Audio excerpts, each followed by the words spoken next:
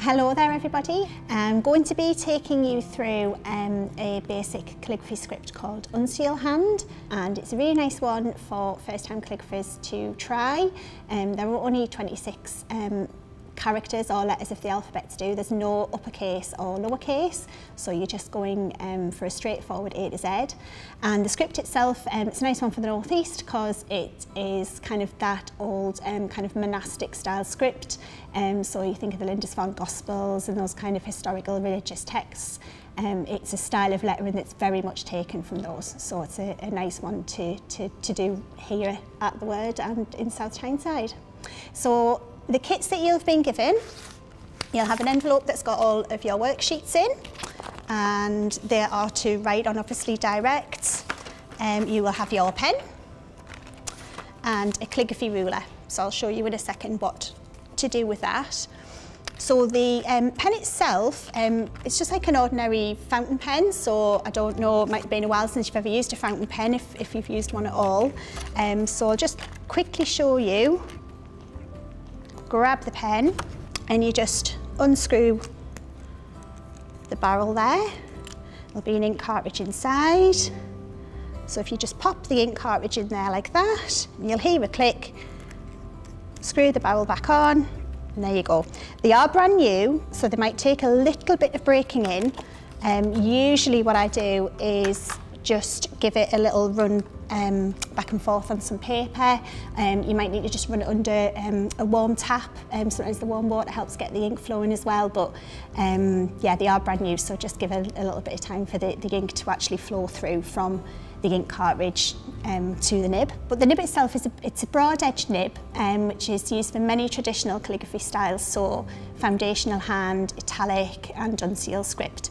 Um, so it is like, like I've said, like a regular fountain pen, but what's different about it is it's got that kind of squared broad edge tip to it and how you hold the pen and how you angle that nib on the paper um, will get the thick and the thin lines that um, differentiate calligraphy from regular handwriting. So as you're writing, as long as you're holding that nib steady, you'll get a really nice flow of thick and thin lines when you come to do the alphabet.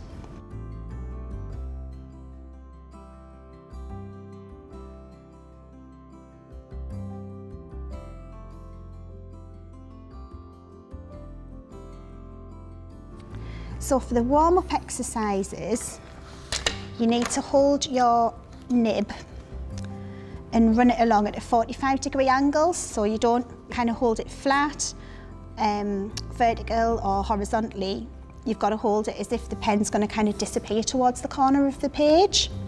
But you'll see that if you're holding it and imagining the right hand of the nib pulling the left hand through, and if you run it up, you'll get a thin line. And then if you hold that nib steady but then go down from the top line to the bottom line, you get that thick line. So you can kind of give it a thin and then a thick. As long as you're holding that steady, that's what the pen's going to do for you. So you can have a go at doing some upstrokes, have a go at doing some downstrokes on a sort of diagonal, and have a go just doing them vertically as well. And then you can kind of do some slight waves. So really just getting warmed up and having a play around with the pen. You don't have to hold it in any sort of different way as to how you would hold a, a regular pen. You just keep that nib at a nice steady angle and it should do all the hard work for you.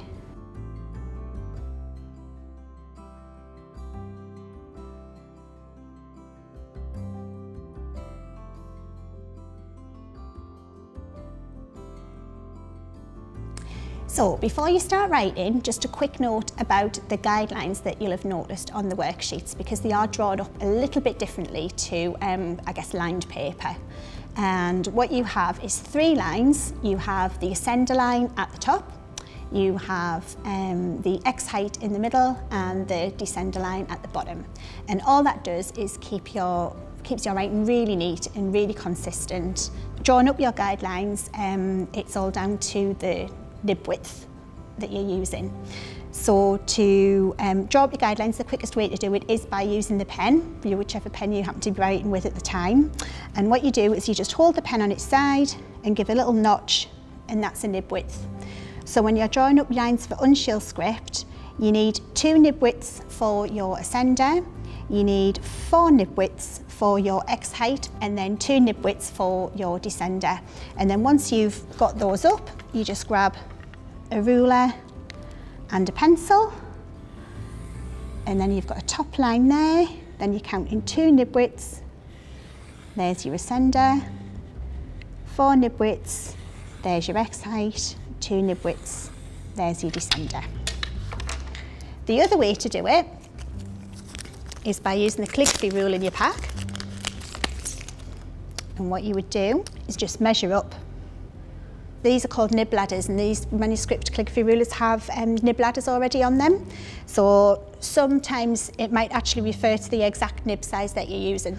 So you could just, like you would be ruling in centimetres or inches, go one, two, nib widths for the ascender, one, two, three, four for the X height, and then one, two for the descender. And then again, just rule those across.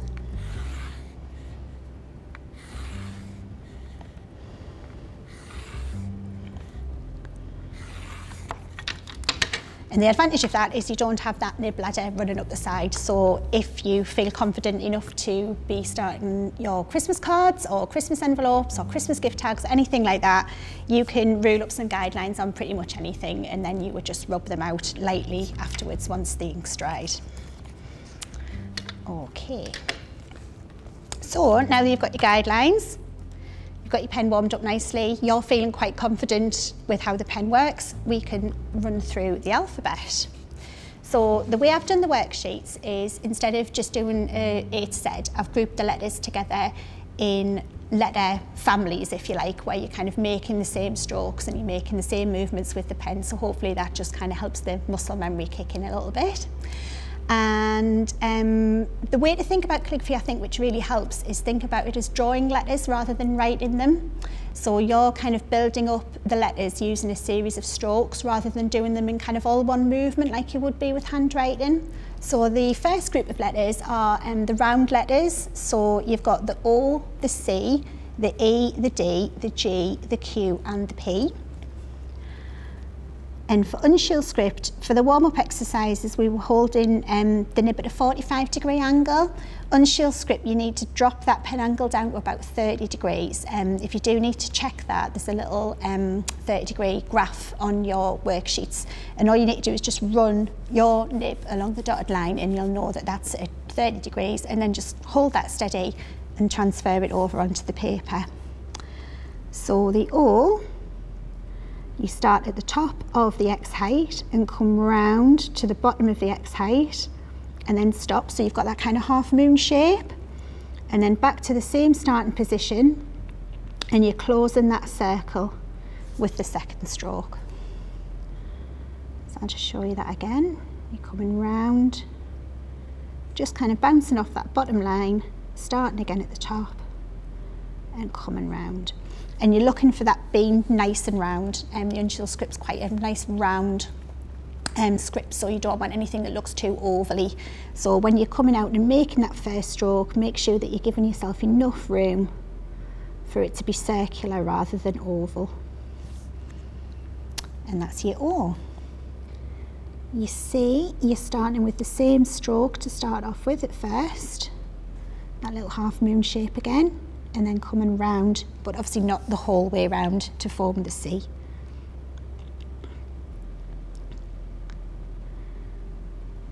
There we go. And then the E, again, exactly the same little half moon start, coming round like on the C, and then just making a straight line back on yourself to close the ball of the E. So again, you can see there that's coming in thick and then a nice thin line. And then the D, starting in the same position as the E. There's a couple of ways you can do this. You can either start in the ascender there and curve it round. So you're starting in line with that first curved stroke there. And then you're just arching that round. Or you can give it a little bit of a decorative flair if you like. So instead of coming right over to the left, you just come over midway and bring that down and round. And that's just a sort of slightly more decorative or, or curvy D. And then your G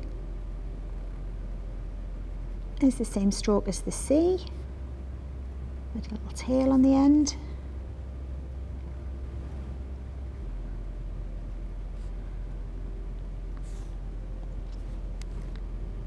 Q and your P are a little different. So the Q, again, comes round like the C.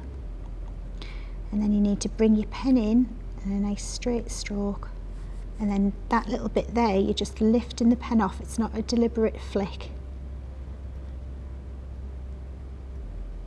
You're just lifting the pen off.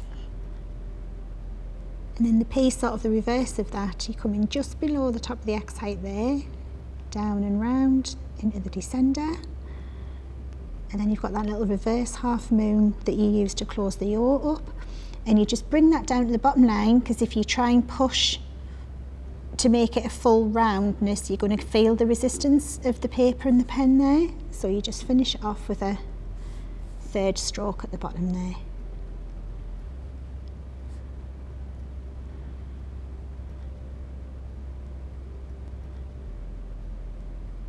The next group of letters are the small ball letters, so that's the B, the R and the S. And the B will feel very strange to write because it's essentially a capital B. So you just come in with your nib just under the X height and then a nice straight line down.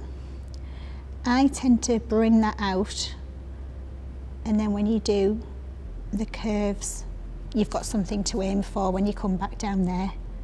You can also do it separately. A little bit like the P where you're bringing that third stroke in along the bottom. And the R, so again, that straight line from the top of the X height to the bottom of the descender, little ball, and then the kick out of the R.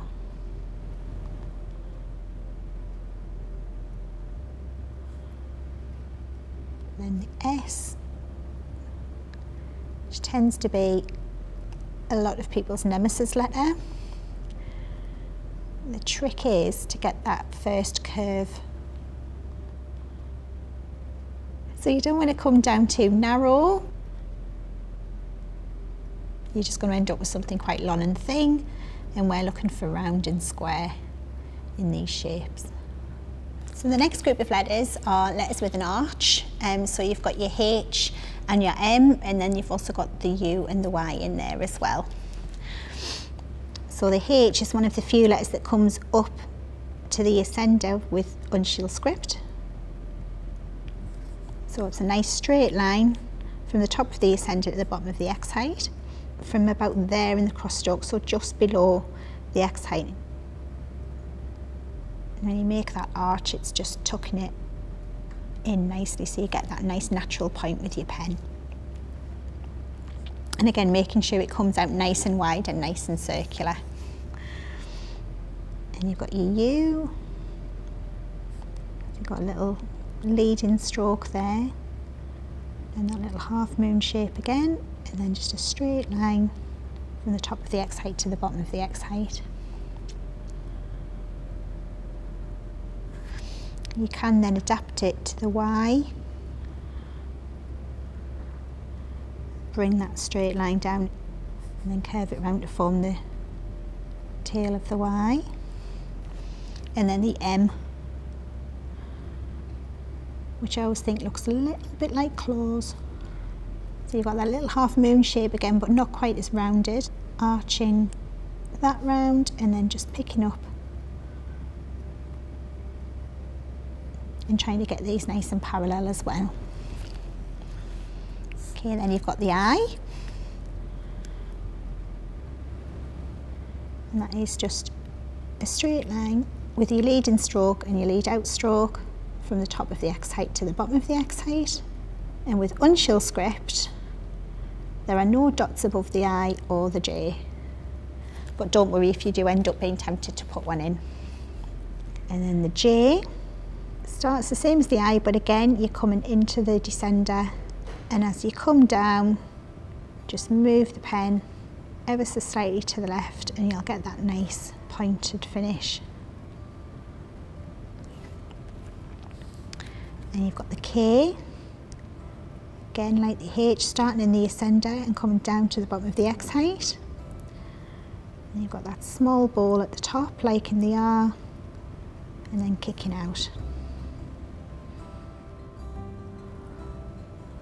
Little loop and then just a diagonal kick out. And then your L, again, like the B, it looks like a capital L, but it's just sitting within that X height. It's not coming up into the ascender, although you could, depending on what you were writing, if you felt that a little bit of height would make it look better, you can bring the L up into the ascender as well. And then you've got the F.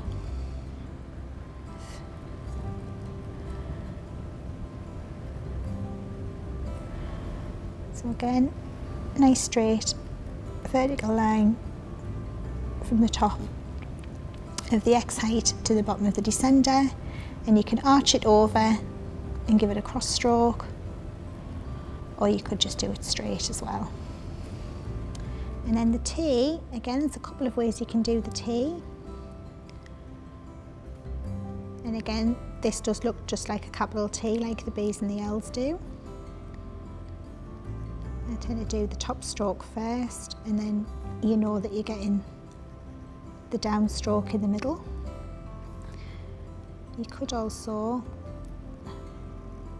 do the stem of the T with that little half moon curve on it too.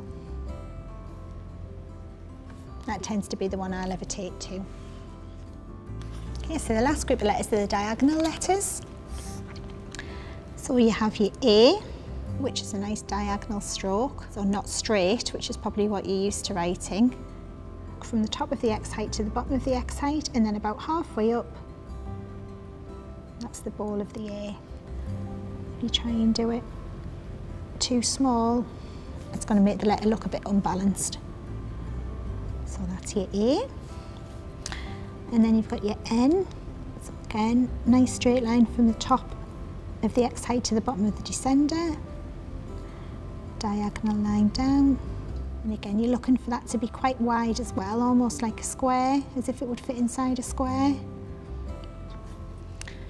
And then you've got your V, helps with the V is on this second stroke here, is just steepen the pen angle a little, just so you get that nice thinner stroke here. It's the same for the W.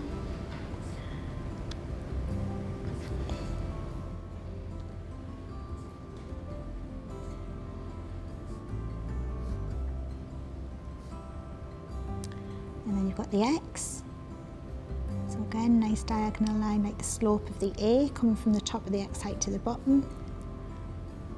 Again, it's like thinking of the four corners of a square.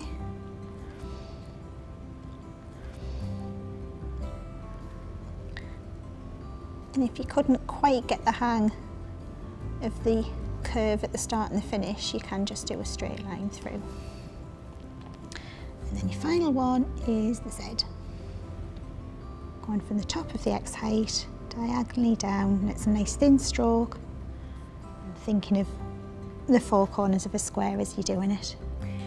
So there you go, that's your 26 letters of the uncial alphabet. Um, once you feel comfortable with the letters, um, try piecing them together to form some words and then eventually you can move on to putting the words together into sentences and um, just build it up bit by bit. Some little tips for um, practice. If you want to do some words, have a little think um, about an alphabet drill. So going through an A to Z of colours or an A to Z of boys' names or an A to Z of cities. Um, so that's quite, you know, sometimes you do get a little bit stuck for what to write when you've got a blank page. So that's quite a nice um, practice exercise. In your packs as well, you've also got um, a list of pangrams. Um, so they're really good for practice as well because they are sentences that include every single letter of the alphabet. So you're going to be able to get some X's and some Z's in there. And also what you'll find in your packs is I have put some pre-printed guide sheets because I know ruling up can be a little bit of a headache and if you're just trying to squeeze sort of 10-15 minutes practice in somewhere you don't always want to spend five minutes of that ruling up your guidelines. Um, so if you want you can write directly onto that. Um, there's lots of um, guideline generators online as well so if you just bash calligraphy guideline generator into a search engine it's going to bring up some different options for you. And there's also some layout paper which acts a bit like tracing paper, but it is designed for use with ink, so it's not going to bleed. And what you can do is keep that as a master copy and then just pop your layout paper over the top and you'll be able to see the guidelines through. So another little time-saving tip for you there. And then hopefully you might be able to come up with something like this. Maybe you could make that the first thing that you write please do share it. I'd love to see how everyone comes along and if you have any questions or queries or if you're struggling with anything at all, um, you have got my um, card in your packs. It's got my website, my email address, my social media channels and things. So any questions at all, just give me a shout. But I hope you've enjoyed it.